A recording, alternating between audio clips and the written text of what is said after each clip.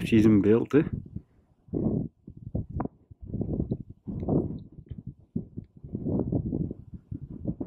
Die is scherp op de foto uit.